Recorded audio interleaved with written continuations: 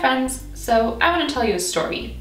Two stories really. The first is about the time I moved back from Vegas to Seattle. My dad had flown in to help me with the driving and when I picked him up from the airport, I surprised him with the confidence that I had in navigating the city. I'm notoriously bad with directions, but I had gotten to know the valley pretty well and I also live just a couple blocks down from the Stratosphere, which is the tallest building in the state of Nevada, so all else fails, just drive toward the really tall tower in the middle of all of the two-story motels. He reminded me as he drove up through the high desert, through Idaho and eastern Oregon, that a strong, confident woman had picked him up from the airport and that I should make sure not to forget about her. But as soon as I opened up the door to my Seattle apartment, she was already gone. There's this saying about how you can't go home again. Once you've grown up and been other places and had other experiences, you go back to your old haunts and they don't fit you anymore. They lose their sense of familiarity. Everything feels a bit smaller. But when I walked back into my old apartment for the first time, I think it was me who felt smaller.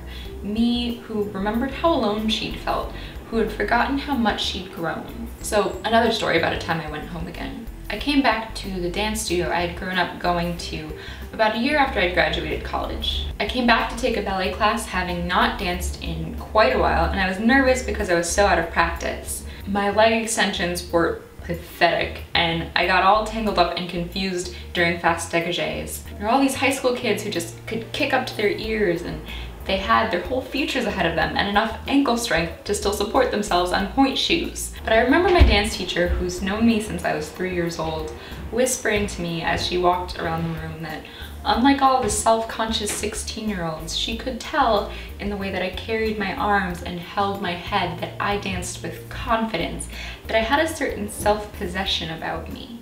There's this Tumblr post that I'll link below by a semi-stranger friend of a friend of mine who reminds me about how we can't go home, about how she grew up anxious, insecure, and how a friend told her how nice it might be to raise their own kids differently.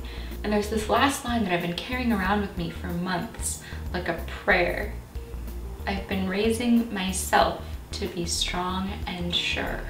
Maybe we can't go back, not really, to the places we were raised because once we leave, the work of raising ourselves continues. And when I feel small and unsteady, maybe that's because I need yet a little more raising. And I'm raising myself to be strong and sure too.